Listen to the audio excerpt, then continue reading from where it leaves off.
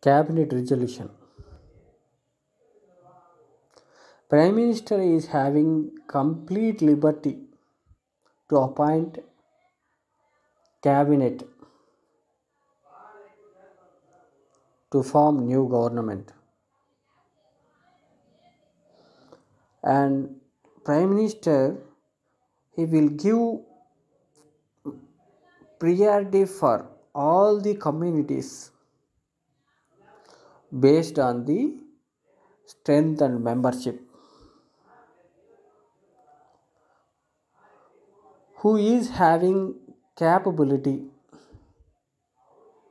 based on their education knowledge and strength he will appoint as minister and he appoints he declare portfolio of the ministers.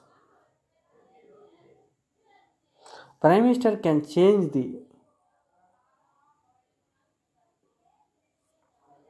portfolio.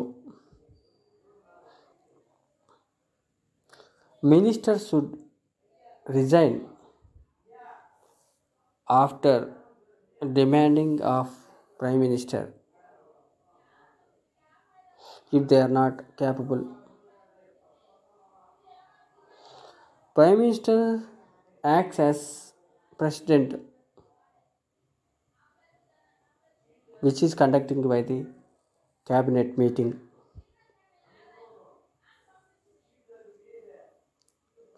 He can restrict the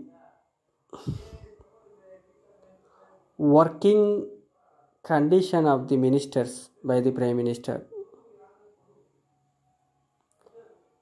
He tried to coordinate all the ministers by the prime minister of india